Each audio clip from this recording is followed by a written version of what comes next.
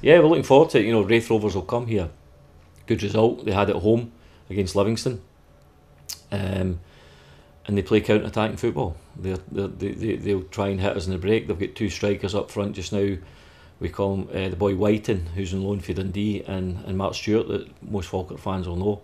And both of them have got great pace. Um, they will try and hit us in the counter attack. They'll expect us to throw bodies forward and, and, and trying to score, but they, they, they counter attack at pace, and, and that's what we've got to be ready for. We've got to be um, organised when we're attacking. One of the big things for me is that when we're doing the attacking, your centre backs should be picking in place in midfield players, our full backs, one going and the other one staying, if, it, if that's the case. And uh, we have to be ready for that because I've got Grant Anderson on the right hand side, who's got good pace as well and the boy Craigan they brought in for Partick Thistle who comes in off the left hand side. So we know what, what to expect. It'll be a very, very tough game. There's been a lot of changes at Raith Rovers.